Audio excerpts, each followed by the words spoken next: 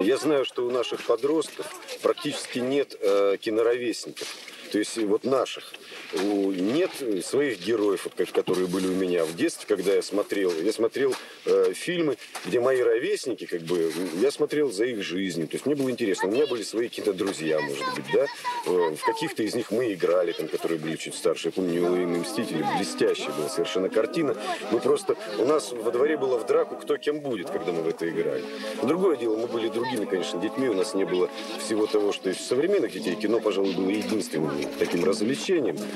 Но сейчас происходит то, что герои э, Макале им гораздо ближе, и у них нет адекватных э, своих, наших российских э, кинодрузей.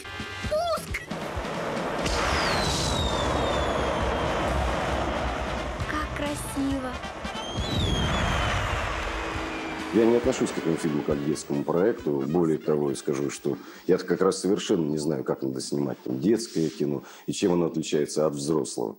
Вот. И для меня это, ну, вот то, что сейчас называют фильм для семейного просмотра, да. А почему? Потому что я считаю, что это действительно сейчас очень мало таких картин, которые взрослые могли бы смотреть вместе с детьми. Это фольклорный герой-ребенок. Он, пожалуй, единственный такой русского современного фольклора. Вот. Поэтому, э, поскольку в этом же возрасте находился и герой сценария, который писался, название возникло сразу. Общий, общий большой напряженный кастинг двух, э, то есть, даже не помню сейчас, не скажу, сколько времени мы искали, но искали долго. Э, и в конце концов нашли. Кто ищет, тот всегда найдет. Помните в песне, кстати, тоже можно сказать детского кино, такая была замечательная песня. Вот мы искали и нашли. К обычный московский школьник, э, Максим Емельянов, вот на него сейчас а, это на Никиту кричат, куда?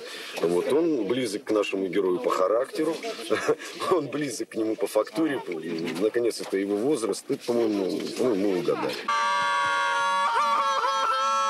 Есть договор, что мы снимаем 45 съемочных дней, то есть 45 рабочих дней. Ну, считайте. Я думаю, мы постараемся уложиться в эти сроки. Другое дело, что нам, конечно, повезло. У нас половина картины проходит на зимней натуре, и мы попали на самый теплый за столетие год. Поэтому, то есть, в этом смысле мы веселимся очень сильно.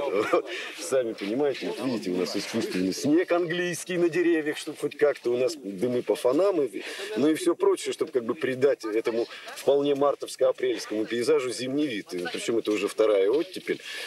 Но я думаю, мы это поборем. Вот, мы это поборем, тем более у нас была уже несколько дней было прекрасной русской зимы, тут безумно красиво в это время, и не, не зря я специально выбирал это место, вот Абрамца. Вот, я надеюсь, что все будет хорошо. Ни хрена тут не вырастет. Не водится тут большая.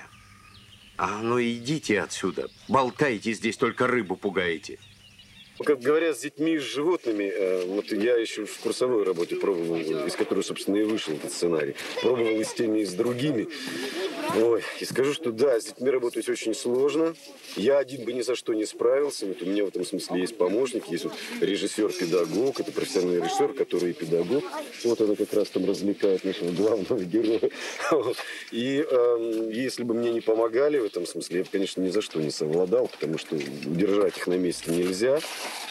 Вот, тем более талантливые дети, они очень активные как-то. То есть они не ботаники, вот, которые у нас, да, а у них характер соответствует персонажам, и с ними, конечно... То есть когда у нас, у нас их собиралось 8-10 человек, то это было нечто. То есть у нас плакали уже все взрослые. Напакостил? А теперь боишься, что отвечать придется? У нас уже в группе ходят определенные рассказы. Может, когда-нибудь я расскажу, когда они вырастут, эти дети, наверное, только. Вот. Ну, я не знаю, дети, они вообще удивительные на самом деле. У них такая очень интересная психология. Вот с ними, конечно, безумно трудно, но э, когда ты видишь потом в материале какую-то отдачу, то это приносит, наверное, больше даже радости, чем, чем со взрослыми. Хотя, конечно, со взрослыми работать лучше, приятнее, просто когда входят взрослые артисты, просто как отдыхать начинаешь. Энергия бьет через край. Причем взрослые как иногда уже, ну, там, не то чтобы стонут, но как-то уже кряхтят, что тяжело, потому что у нас длинные, получается, смены такие, световой день короткий. Эти носятся, конечно, правда, потом сразу вырубаются иногда. Значит так, я сейчас пойду и все возьму на себя. Там скажу, что по пьянке. Молодец. Ну кто тебе поверит? Мне удалось снимать тех актеров, которых я и хотел. У нас играет Леша Гуськов, Миша Пореченков, э, Инна Ульянова будет у нас сниматься. А, У нас уже снялся, значит, мы сняли его эпизоды Юра Шевчук.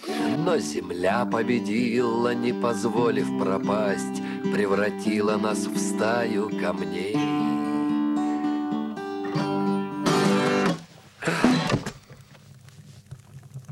Он, он у нас играл такого э, дачного бомжа. Вот. Причем оказался, по-моему, замечательным актером. Я, во всяком случае, скажем, я видел уже материал и ну, вот просто.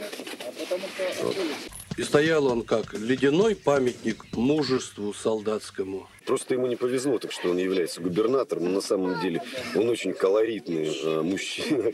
Он, э, на мой взгляд, ну как всем серьезным политикам, ему присуще э, актерское, актерство. То есть, э, на самом деле, я просто с него писал эту роль, когда мне нужен был необычный человек, не из этой среды. И я понимал, что как бы это не очень хотелось отдавать актеру, а поскольку я с него писал, вот мы решили, кто в Подмосковье необычный человек. Вот он такой помор. Понимаете, и поскольку я его наблюдал на фестивалях созвездия, сполохи, которые проходят в Архангельске, ну как наблюдал, вернее, ну, присутствовал при его выступлениях каких-то, вот, общались мы в жизни, и э, просто я с него эту роль написал. И когда встал вопрос, а кому теперь это отдать играть, то наш продюсер Сергей Жирнов сказал, что он его уговорит. И уговорит.